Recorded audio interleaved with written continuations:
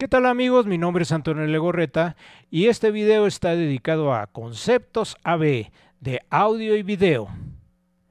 Esta serie de videos está diseñado, pensado para que podamos esclarecer muchos de los conceptos, especificaciones o tecnicismos que utilizamos en el día a día en el piso de ventas y que usualmente los fabricantes publican en sus hojas de especificaciones. Muchas veces es un poco frustrante para ustedes como usuarios, pues no hay la posibilidad de interpretar o, vamos a decirlo, a contrastar, comparar los productos en base a las especificaciones. Así pues, la misión de estos videos es esclarecer muchos de estos puntos para que ustedes puedan tomar las mejores decisiones posibles. En esta ocasión vamos a hablar del concepto especificación respuesta de frecuencia. La respuesta de frecuencia fue un tema que durante muchos años, eh, durante los 50, 60, 70 y todavía en los 80, era vital en la selección de un producto razón por la que muchos de los componentes de ese entonces, que eran de tipo analógico, no podían cumplir con el mágico número de 20 a 20 mil. ¿A qué me refiero con esto? En una gráfica de respuesta de frecuencia vamos a observar que tenemos las frecuencias bajas, medias y altas, es decir, los graves, las voces y los agudos. Y para ello teníamos que cubrir todo el ancho del supuesto espectro audible, de 20 Hz hasta 20.000 Hz, que se supone son los extremos audibles apreciables para nosotros. Esto eh, es un tanto, vamos a decirlo, relativo. ¿Por qué? Porque los instrumentos acústicos no pueden llegar a reproducir muy, muy bajas frecuencias. En el caso, por ejemplo, de un órgano de tubos, tenemos que algunos de ellos están entonados para reproducir frecuencias tan bajas como son la de 38, 32 o 28 Hz, pero 20 es muy complicado poderlas este, reproducir. Sin embargo, a raíz de desarrollos en la, en la electrónica para músicos, principalmente con el desarrollo del hip hop, o la música electrónica se, lograron emular frecuencias muy muy bajas, es decir, con cajas de ritmo, de forma sintética para reproducir ese que hace vibrar todas las ventanas, la parte del medallón de nuestro automóvil y uno que otro este, va perdiendo su control, ya de que las muy bajas frecuencias pueden producir náuseas, taquicardia y, por qué no, en algunas personas muy susceptibles, hasta ataques cardíacos. Hay que tener cuidado con ello. Eh, se dice por allí que las trompetas de Jericó, para poder derrumbar esas murallas, se utilizaron trompetas sónicas. Habrá que verlo si lograron diseñar algo así en ese entonces. Pues bien, la respuesta de frecuencia en altos también es una situación que en el medio analógico pues no se lograba tan fácilmente, ya que al disponer en este caso, por ejemplo, de cintas magnéticas, ya sea para carrete abierto o cassette, dependía de la velocidad de la formulación de la cinta para lograr entonces ese brillo extra. Hoy en día, con las actuales tecnologías digitales, es muy fácil eh, llegar a esos números mágicos de 20 a 20 mil. Y de hecho, no todo está diseñado de esa manera ni pensado para que reproduzca de esa forma. Vamos a revisarlo. Por ejemplo, eh, ¿ustedes sabían de que en audio comercial, es decir, lo que escuchan en las plazas, en las tiendas, en el restaurante, como música ambiental, está muy limitada su banda de reproducción. El objetivo al final del día, la parte prioritaria de esos sistemas es el voceo. Y el voceo, oh, no podemos eludir ese tema, en dado caso de que suceda un siniestro, la gente tiene que evacuar rápidamente y por ello la voz tiene que ser clara y precisa para poder dar el aviso de alarma en ese momento. Así pues, en un sistema de audio comercial es frecuente de que el rango de respuesta de frecuencia va de 300 a 14.000 Hz. No se necesita más. No necesito reproducir graves, no necesito reproducir un agudo timbrante y transparente en altas frecuencias. La parte central, que es la voz, esa sí tiene la prioridad y que se escuche por supuesto, clara, nítida y fuerte, no hay más. Y la música, pues es ambiental al final del día, solo me va a acompañar, no va a ser música de gran calidad. Y es por ello de que muchas veces se tilda a los sistemas comerciales como que es low-fi, es decir, de baja eh, fidelidad. No es cierto, la aplicación es diferente. O tú te pondrías un traje para hacer una zanja en el campo, lo dudo, sino te pondrías algo para trabajar y poder hacer tu trabajo de manera eficiente. Esos son los sistemas comerciales. Ahora, ¿qué pasa con los sistemas, por ejemplo, que algunos fabricantes también se dan el lujo de no publicar? Sí, hay fabricantes que deciden, esto suena bonito y así me lo vas a comprar.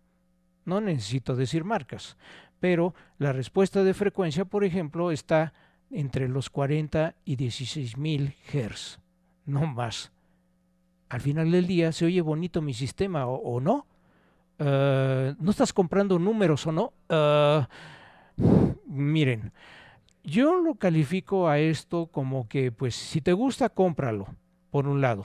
Pero por el otro, también habla de la seriedad del fabricante en cuanto a la medición de sus productos y que esté certificado y avalado por un laboratorio científico que realmente el equipo cumple con sus características.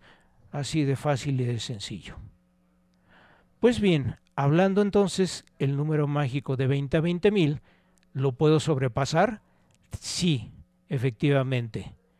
En el desarrollo del superaudio CD o SAC-CD se ha llegado a situaciones en donde la respuesta de frecuencia en muy altos niveles, vamos a decirlo, no está limitado a los 20.000, sino más allá. Así pues, es usual de que estas mediciones lleguen hasta 45 o 55 mil Hz, o sea, frecuencias muy altas. Bueno, ¿y eso quién lo escucha? ¿El perro o el gato? Pero un ser humano lo va a apreciar. Pues miren, vamos a ver ahora cómo apreciamos la respuesta de frecuencia.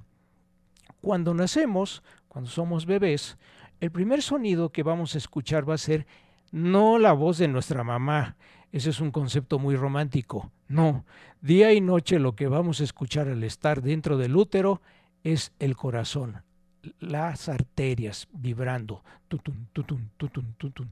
es el primero que, sonido que vamos a apreciar, un sonido rítmico, constante y de baja frecuencia.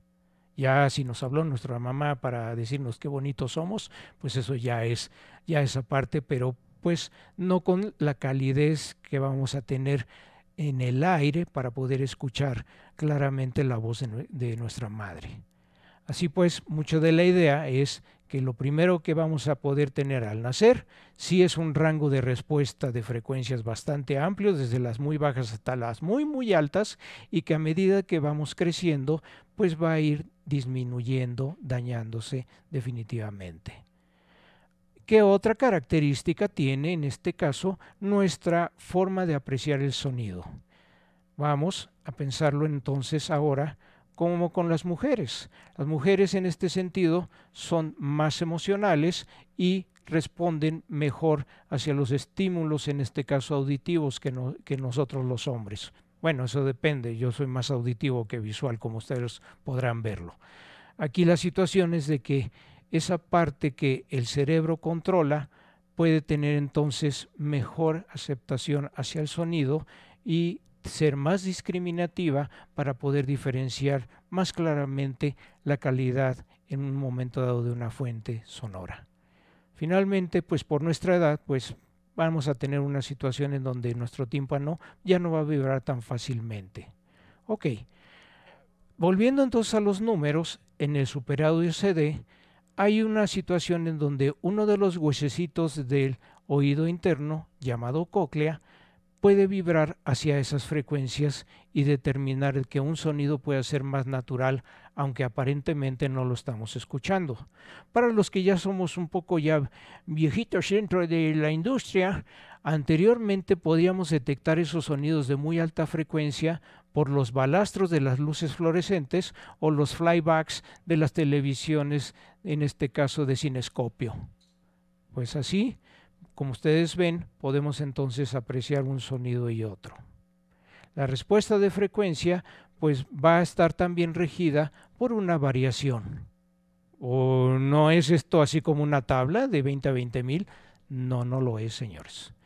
La situación es de que, damas y caballeros, el número está determinado dependiendo del producto. Podría tener tal vez de 20 a 20 mil con una variación de más o menos 0.5 dB. ¡Wow! ¡Qué precisión! Sí, eso lo logramos en la electrónica. Pero en micrófonos o en altavoces, ahí es un poco más difícil esa, esa medición.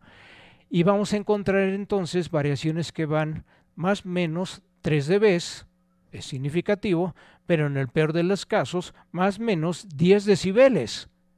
Eh, entonces eso quiere decir de que esos graves maravillosos que me está prometiendo ese fabricante y bien especificado en su respuesta de frecuencia más o menos 10 decibeles, créanme, eso lo van a lograr, pero pues en una cámara neicoica, es decir, donde todo está silencioso y puedan verificar, ah, sí, efectivamente está sonando eso.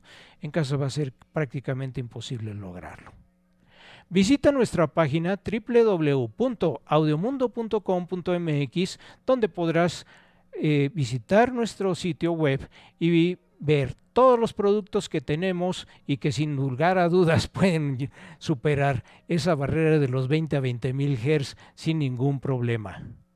Además, en el sitio de YouTube, en el canal de Audiomundo de México, podrás visitar, revisar y checar en la comodidad de tu hogar o en tu teléfono móvil todos los videos que hemos estado subiendo de conceptos AB, de audio y video, así como de otros eh, videos más que hemos subido. Además, si te suscribes a nuestro canal, podrás revisar también todos los videos por marca que constantemente subimos semana a semana. Si te encantó este video, regálanos un like. Muchas gracias y hasta pronto.